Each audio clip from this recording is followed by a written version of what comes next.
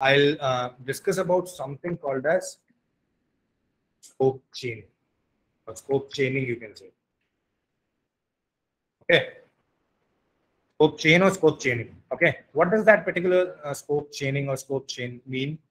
Can can you guys just make a wild guess on your own and try to tell me what could be the possible uh, definition for this at a very generic level? All right.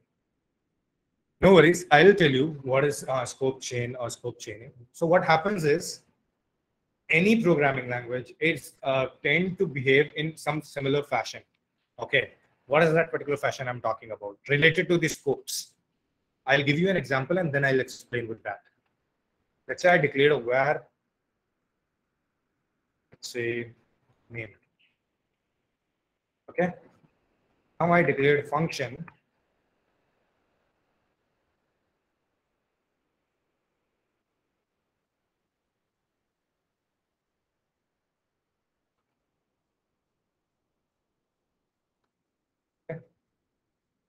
let's try to do. So in this particular case, what is happening is I'm trying to declare a variable outside the function, right? And I'm trying to access that variable inside the function, correct? This is the basic syntax which I have written in front of you guys, right? It's pretty clear, right? What I've written over here. So what happens is in terms of the scope chaining, so what does the scope chaining mean? Let's say the program comes to this particular line number 136 and it finds that, okay, console.log name.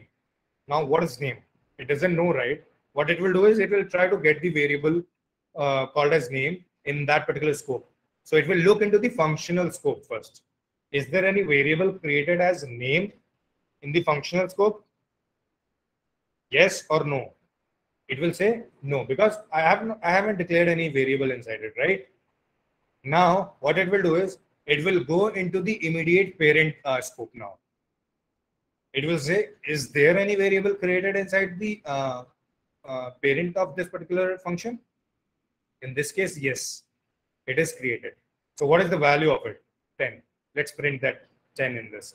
So this is called as scope chaining so it will look for the immediate scope, then it will go to the parent scope and then so on till the global scope.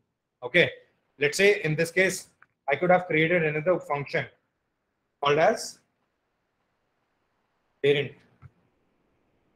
And I could have, let's say, uh, created an inner function in this case, right?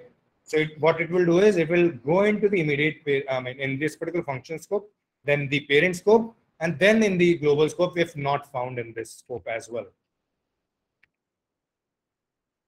Right? So this is how the scope chaining works.